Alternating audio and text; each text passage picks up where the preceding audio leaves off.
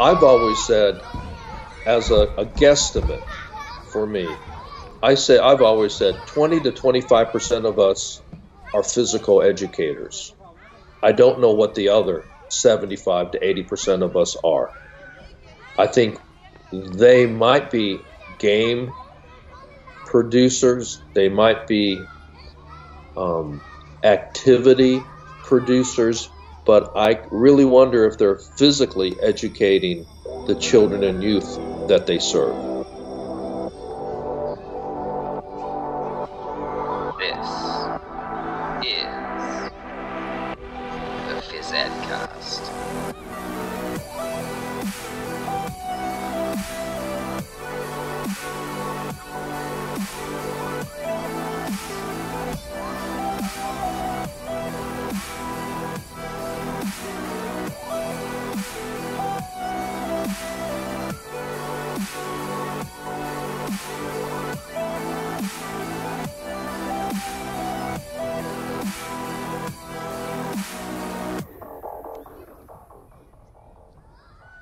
Guest today is someone who could be considered the godfather of physical education, Artie Kamiya.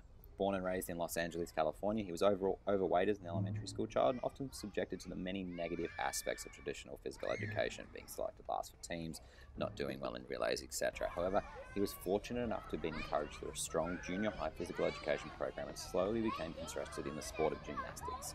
He competed in high school, collegiate level gymnastics at Los Angeles City College and Cal State, and also at the 1972 National NCAA Gymnastics Championships on the ring. He received a Master of Arts in Teaching degree from the University of North Carolina and worked as an elementary physical education teacher for Wake County Public Schools in Raleigh, North Carolina. While in this position, he was able to become involved in curriculum writing, presenting, and other leadership activities. In 1983, he was hired by the North Carolina Department of Public Instruction as a physical education consultant. In 1996, he was promoted to the Section Chief for Arts and Healthful Living. In this position, he directed a group of 11 professionals representing arts, music, dance, visual arts, theatre arts, and healthful living, health, physical education, athletics, and private education. From 2001 to 2005, he was the Senior Administrator for K 12 Healthful Living Education for Wake County Schools. He was recognised in 2004 as the National Physical Education Administrator of the Year and has been called one of the nation's leading experts for K 12 health and physical education in the United States. He's the president, and founder of the Great Activities Publishing Company. We'll talk a little bit about that later. And their company is known for their innovative K 12 publication services and workshops, including the National PE and School Sport Institute in Asheville, North Carolina. His work has appeared on numerous ABC, NBC, CBS, and Fox TV affiliates, as well as on National Public Radio and in USA Today. Artie retired from public service in 2005 but continued to follow his passion as a health and physical education advocate through his work with Great Activities Publishing Company who's recognised by the National Association for Sport and Physical Education as a 2007 Joy of Effort Award winner. Artie and his family live in Durham, North Carolina. I first met Artie when he invited me to be a keynote speaker at the National PE and School Sport Institute in Asheville, North Carolina. Artie is wise, warm, generous, and always puts others before himself. So sit back, relax, and enjoy a conversation with Artie Kamiya. Okay, so I'm here with Artie Kamiya. Thank you so much for joining me today, Artie. It's been uh, a little while since we've chatted, but I'm, I'm glad to connect with you again. Um, for those people that don't know you, can you tell us a little bit about yourself? I am an old guy. I'm, an old, I'm an old physical education teacher. I'm 67 years old, been in the profession for around 40 years, uh, pleasantly in the profession for about 40 years. Uh, former elementary physical education teacher, a central school administrator for Wake County Public Schools here in Raleigh, North Carolina. And then I also worked as a physical education consultant for the North Carolina Department of Public Instruction. And then I retired, and then I decided there's still too much work to be done, right? Because yeah. there. And so uh, we started this new national physical education conference called the National PE and School Sport Institute that we have each summer up in uh, wonderful Asheville, North Carolina, on the campus of UNC Asheville. And so that's what we're doing. Um, yeah. Just trying to really think ahead into the future and provide a platform for millennials and people that are interested in doing things different. It's an interesting question because I was gonna, I didn't want to get to your age right off the start, but you, you, you went, you went there straight away. Um, I'm an old guy. Yeah, and happy to be old. No, exactly. Like I don't like. I mean, I, I have the pleasure of knowing you and, and, and having met you and, and spoken with you a bit, and um, I think like I have to say, like I've never seen someone who's your age that has so much energy and so much passion, and, and like you said, you retired and then you decided, well hang on a second, like I'm not done. I'm going to come back and, and work even harder than I worked before um, to right. start something new. Like how does how does someone who is you know decides to retire and then like like what made you want to want to come back and, and start this conference and continue to do all the amazing work that you do? Yeah, well, it's because of a friend. Um, I was uh, consulting up in New York State and at the end of that visit, uh, was flying back with a, a fellow consultant who was also on that visit. His name is Jim Rich. And we were talking, and Jim said, You know, they still don't get it. I mean, after all this time, they still don't get the fact that they need to align the, the written, taught, and tested curriculum. And we should do something about it. And I'm thinking, we? Who's, who's the we? Said, Well, you and me, we could start a conference. And so we did. We found the venue, UNC Asheville, and invited all of our friends. We really did. We invited George Graham. Um, we invited Stevie Chepko. We invited um, uh, Bob Pangrazi, individuals all across the United States to come and spend a week. At that time, it was a week long conference keynotes in the morning, keynotes in the afternoon, breakouts uh, throughout the day between the, the, the the keynotes, and they all said yes, and they all came, and we had a wonderful time. It's it's we're, you're hobnobbing with. Well, I was going to say rich and famous, but not rich, and some of us are semi famous, I guess. Uh, but it was just wonderful. You imagine just like you're you're walking down the hallway and you bump into George Graham, or you're you're in you're in the cafeteria and and right at the table right next to you is Bob Pangrazi. I mean, it was just phenomenal, and so it worked out. So we decided to do it again, and that's what that's how it happened, Nathan. Yeah, organically. Yeah, for sure, and like. Um, you know, I was I was lucky to to be able to be invited by yourself to come down there a few years ago as, as one of the keynotes, and it's like you said, like I remember sitting there at, at this table and you know, like I'd connected with all these people online, and now all of a sudden we're all in the cafeteria having lunch together, and then we're at right. the the social together, and it's it, it I've got to say it does help that I think Asheville. I think I read somewhere once Asheville has the most uh, craft breweries per square kilometer of anywhere in North America. So I think that definitely helps things a little bit. Um, it, it but does. It's it's just a, a great atmosphere and a great uh, conference, and um, yeah, I can't speak highly enough about it. Like I, I, I, want to talk a little bit about it later. Let's let's put that on the on the back burner a little bit because I want to I want to dive a little bit more into to to you. Um, we've sort of talked about what you did after you retired, but how did you get started as a physical educator? Like, what brought you into the profession? I think my uh, my route to becoming a physical education teacher is very similar to yours and a lot of PE friends. It was through sport. Uh, my sport was gymnastics. It was something I excelled in in uh, high school and college. Uh, was able over time to go to the NCAA National Men's Championships on the rings, and um, I just loved gymnastics. I loved learning about it. I loved coaching it. And so that's what I wanted to become a gymnastics coach. Um, but uh, I found out later that really being a teacher first over a coach seemed to be a better fit for me. Uh, I was able to influence the lives of more boys and girls uh, than, if, than if I were coaching. Um, I enjoyed working with elite athletes, but sometimes you just need to make a, a choice. And my choice was I prefer to be a physical education teacher to all the students. In other words, really to be that coach for all the students that I saw. Sure, sure. So where did you like? Where did you go to school, and like how did you get Oh, qualified sure. to do that? Oh yeah, um, I grew up in Los Angeles, California.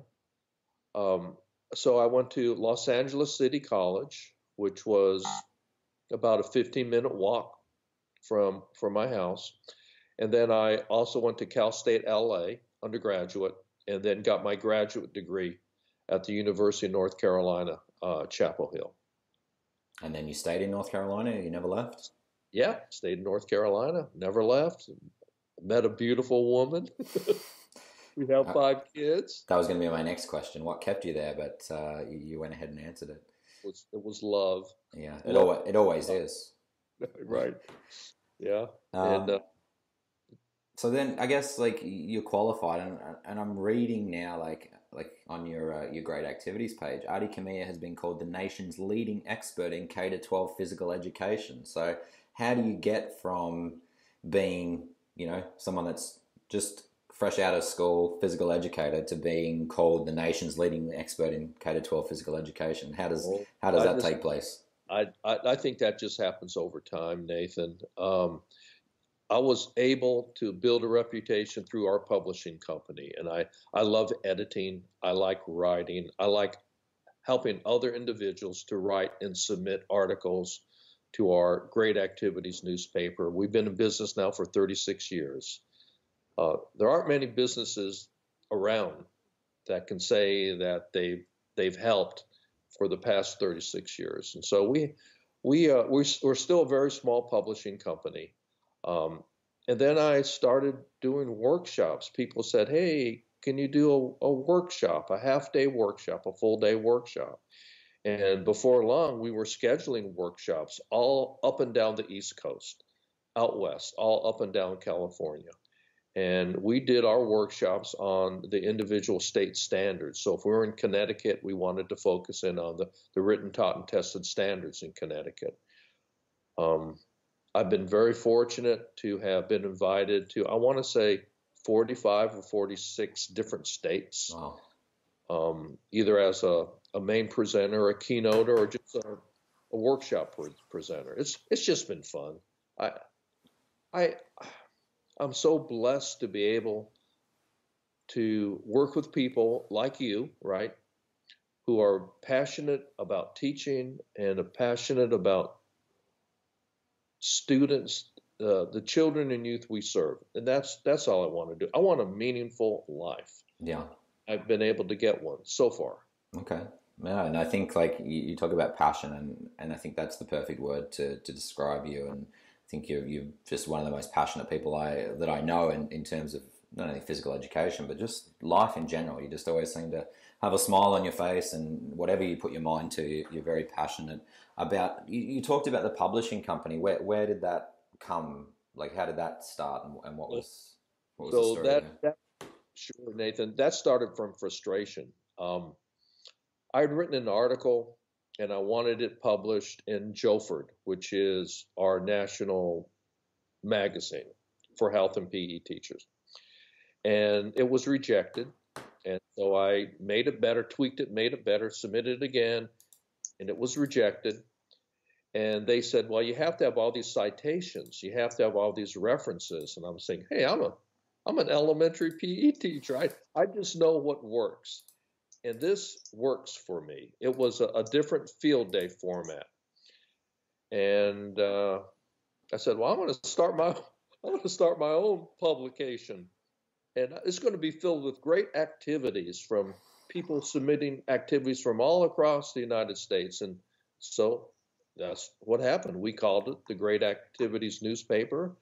Uh, at the end of the first year, we had 500 subscribers. End of the second year, we had 1,000 subscribers. Um, at the end of about seven years, we had 5,000 subscribers. And it was so cool because it was kind of like a workshop in a booklet.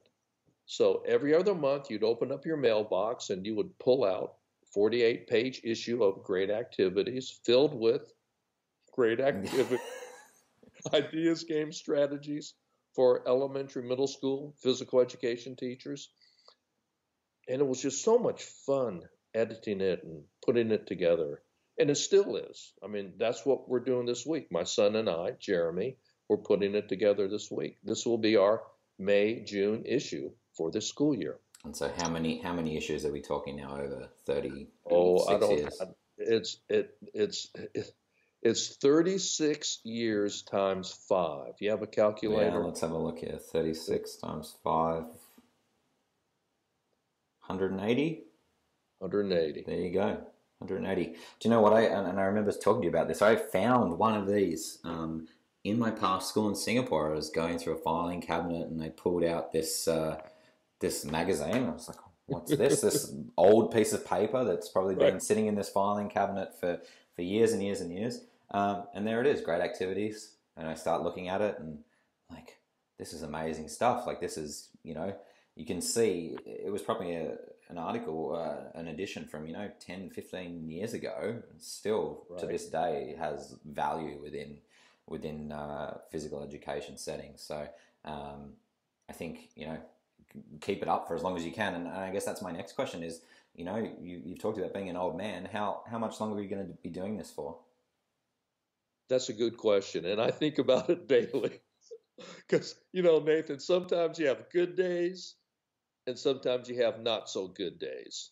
Um, but I've learned over in my life not to get my highs too high and my lows too low. Um, try to be a moderate. Try to think moderately. Um, I'm going to work until at least age 75. Okay. So I'm 67. So we got a few years of few years of Artie left. Years. Um, and, and we'll see we'll see how long the publishing gig goes. Publishing has been hard, uh, mainly because of the internet, and there are so many free opportunities and so many people like yourself. You know you're you're blogging you have a website and you're freely sharing content which is wonderful rich and great. And, and so that's where the, the young millennials are going. It's, it's hard to sell a printed book now. We can and we have but uh, there's just so much more competition, which rightfully so, because the price point is much cheaper, it's free, and the quality is great.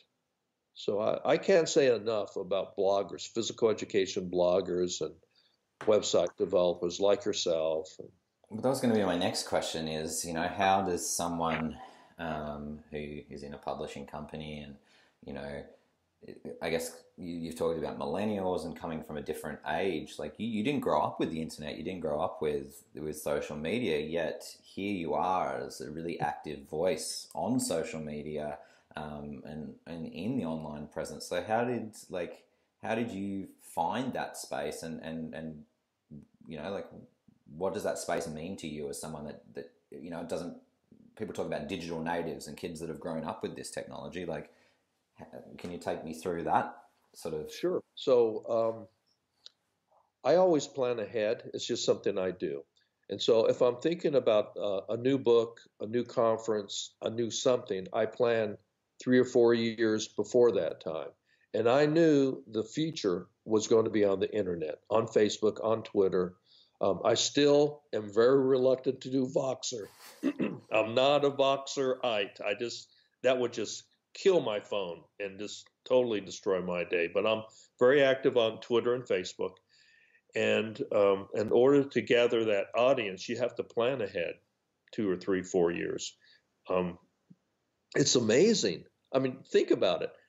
You could take that thought that's in your head, that idea, that expression, you could type it and you could publish it, boom, that very same day. And if you don't like it because you made a mistake, you just edit it or delete it. I mean, it's, I just think um, for a person who loves to write, which I do, it's, it's instant gratification. And there's really nothing better, really, other than video, maybe.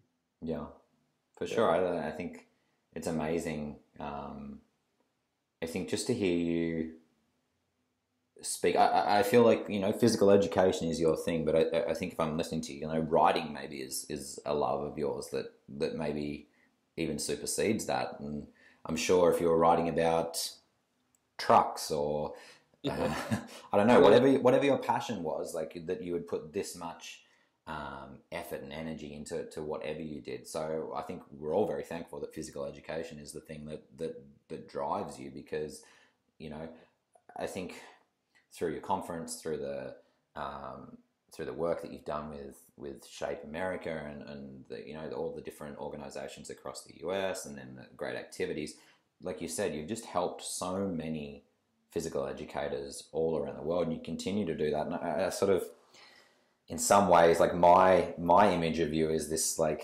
godfather almost who hmm. just you know there to to help and support everybody, um, and you're always willing to to help and and ask questions about you know how can I help you to be better at what you do, and and I just think it's an amazing thing and.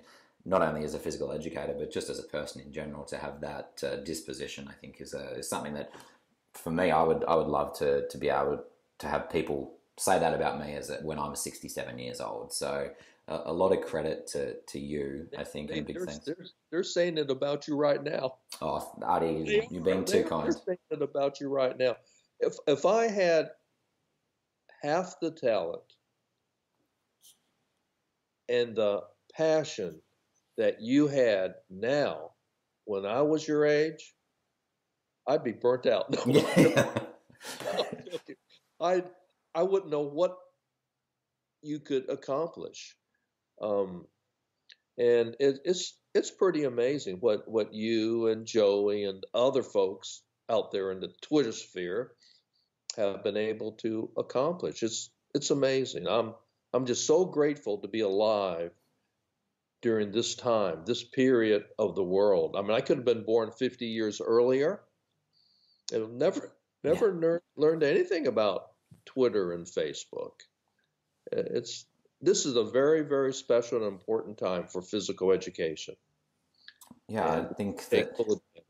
Yeah, it is a really really important and special time, and I think like that to lead into one of the questions that I was gonna ask is like there seems to be, you know, there's so much information out there right now. We live in this information age and the internet and Twitter and Voxer. And if I'm a physical educator and you know like i'm maybe i'm in a school by myself i'm struggling a little bit I, I, don't really know where to turn. It can be quite overwhelming the amount of information that's out there. So in your perspective like what's what's really worth doing? What should we really be focusing on um, as a professional? What should i be focusing on as a physical educator if i'm in a situation where maybe i don't know where to turn next? Right. I think i think we have to develop professional filters and there should be several questions that you ask yourself. If you happen to see a presenter or read a great activity in a book or a magazine, there should be a series of filters you need to filter everything through. Uh, number one, are skills being built? In other words, is this game or this activity or this lesson, is it helping to develop children's skills? Are they becoming more skillful? Um, are they working on character skills? Are they working on social skills along with the physical? So there needs to be that filter. In other words, why am I playing this game or this activity? Um, we can't just play games for game's sake without having some outcomes. And I and I know that you understand that, and most physical education teachers understand that. See, the thing um, is, Artie. The thing is, Artie. Like, I think there's a lot of people that don't understand that and that's why I want to have this conversation with you because I think that within this online community, it's great that there's so many people that are on the same page. But for every one of us that are in this community, there's probably 10 of us who are not in this community and, and aren't thinking along those lines. You're right. And that is unfortunate. And, and so I've always said, as a, a guesstimate for me, I say I've always said 20 to 25% of us are physical educators. I don't know what the other 75 to 80% of us are. I think they might be game producers, they might be um, activity producers, but I really wonder if they're physically educating the children and youth that they serve. Um, so we need to get away from a game mentality just to play a game. Uh, we really need to take a look at what skills are important, and what's being taught and what's being learned. Just because you teach something doesn't mean that's being learned. Yeah, yeah, really. Next time on the Phys Ed cast, we're going to catch up with Dr. Stephen Harvey from Ohio University, where he is an associate professor in coaching education. If you're saying you're doing a game centered or game based approach, and clearly you're spending the majority of your lessons where you know, or nearly all the lesson where children are dribbling a field hockey ball around cones, that's not a game based approach. I can't wait to share that episode with Dr. Stephen Harvey. But for now, back to Artie.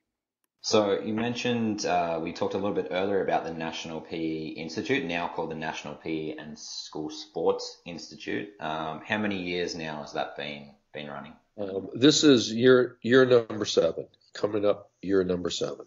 Okay, um, so seven years. I think you've had the who's who of, of the phys ed world present there.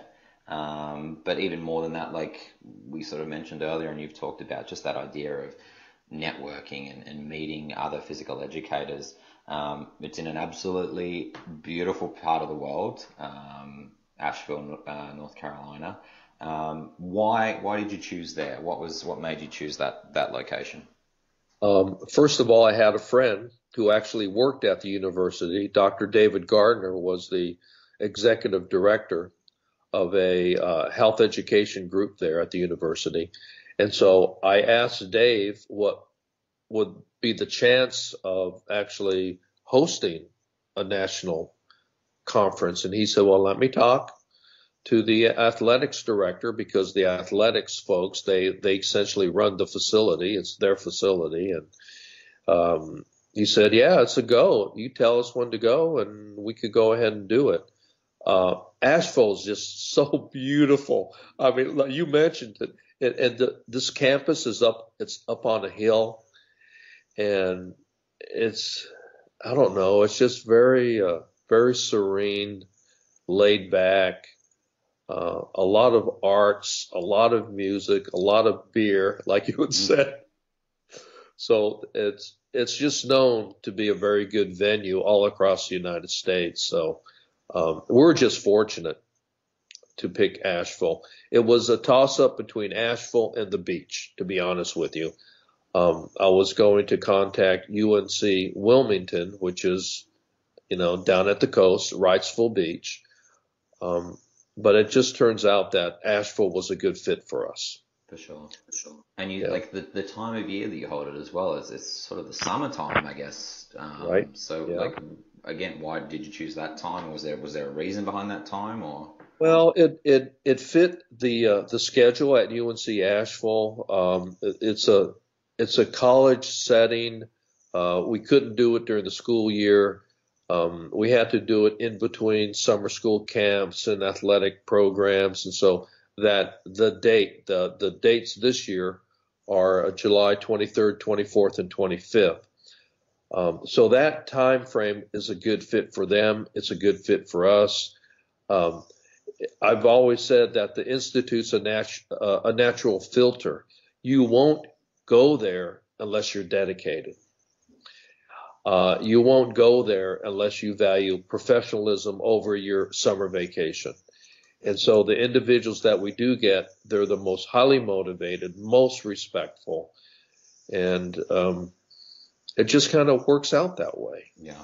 And so when you're around a lot of motivated and highly respectful people, it just brings out the best in you as a person. For sure, and I think that's something that I've always like reflected on. Like I know when I when I was there and I and I went away and you know that was the summer and I just felt so invigorated and so motivated then to go back at the start of the next school year and, and get things in, get into things and, and to try all these new things that I'd learned. And um, I think often, you know, these conferences that happen throughout the school year, there's so many other things happening within a within a teacher's life at that point, whether they've got reports to do or whether they've got coaching duties or whether they've, you know, so many different things that you know you go to this conference, but then you're back into the the daily grind again. Right. So I think you know having that in the summer, you're getting those people that are really dedicated to it, like you said, but it also gives you the opportunity to maybe have a bit of distance from your actual day to day reality and to be able to reflect upon well, here's some of the challenges that I'm facing and and then you get these new ideas, but it also then gives you time to be able to reflect on those ideas before you're putting them into practice. You're not just, you know, bringing a, I think we, you see it all the time. You go to a workshop on a weekend or, or a, a conference and you come back to school on the Monday and you're super excited and you've got all these great ideas and by Friday you're beaten back down into yeah. depression and boredom again because of, of all the other things. So I think like there's, like you said, it, it is in the summer, you know, so that, that may make some people not feel like that they can make it because, you know, their, their summers are reserved for other things. But I would definitely, couldn't recommend enough if you want to, to, to really improve your practice, then the PE Institute is, is somewhere that you need to go at least once in your life. Sort of like a, like Mecca, I guess, for, for PE teachers. Yeah. right. Um, we had, there's a group of uh, physical education teachers in Phoenix, Arizona. They call us the the PE ninjas. I don't know why. I mean, just they just, I guess, out of respect, right? Yeah. Um, but we have found that summer's the best time to do it. Really, if you think about it, um, educationally, summer is a time to reflect. And it's a time to recharge your batteries, and it gives you time to plan your school year. You can't do that during the school year. It's like trying to operate on someone and learn how to operate on someone at the same time. Can't be done.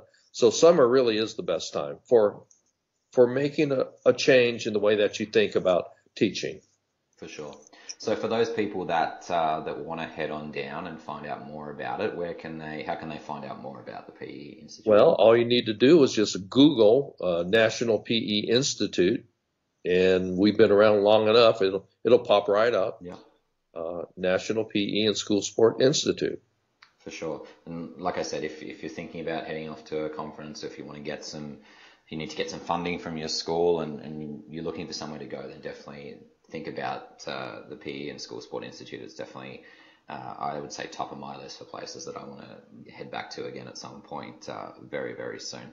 Um, I guess we're, we're sort of coming to the end of, of our time. I wanted to keep this short, but I, I do know that I want to get you back on again for another episode. I think, Artie, because I think there's so many more things that we could talk about. Um, but before we go, I think there are there's three questions that I like to ask my guests and, and sort of more rapid fire um, answers. So, you know, 25 words or less. Um, first thing that comes into your mind. Um, so the first one is, what's the most interesting thing about you outside of physical education? What, what's something that people don't know about Artie Kamiya? I love to garden.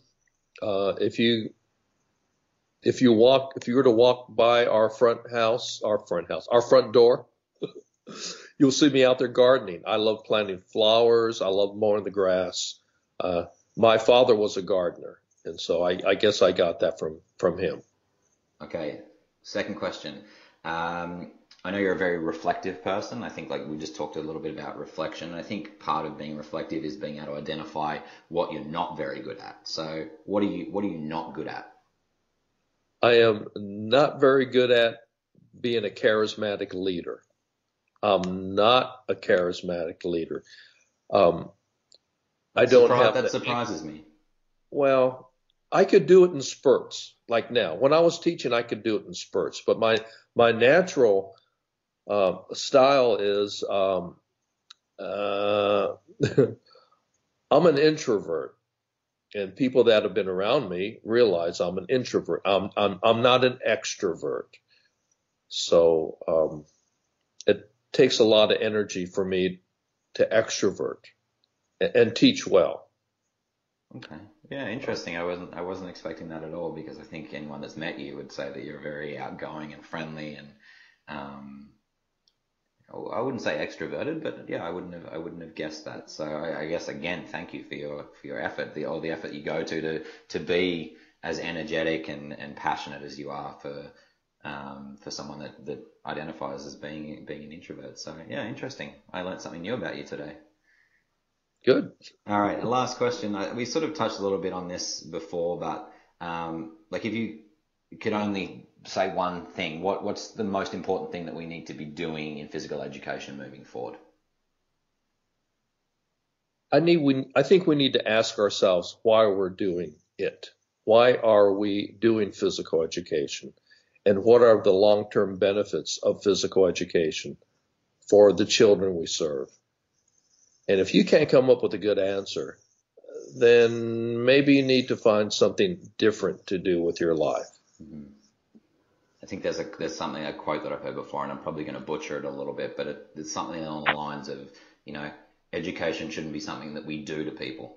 It's not something that we should be like making them do. It should be something that they're experiencing and that we're facilitating. And, and I think you've sort of touched on that a little bit now. Um, yeah. So again, thank you so much for, for spending some time with me today. I'm, I'm definitely going to be contacting you again to, to do another one of these at some point in the in the near future because I think there's a lot more stuff that we can we can chat about. But I do want to keep it short um, and at around 30 minutes today. So thank you so much. Um, you mentioned that people can find information about the PE Institute at the website there. How can people get in contact with you if they want to ask you some questions?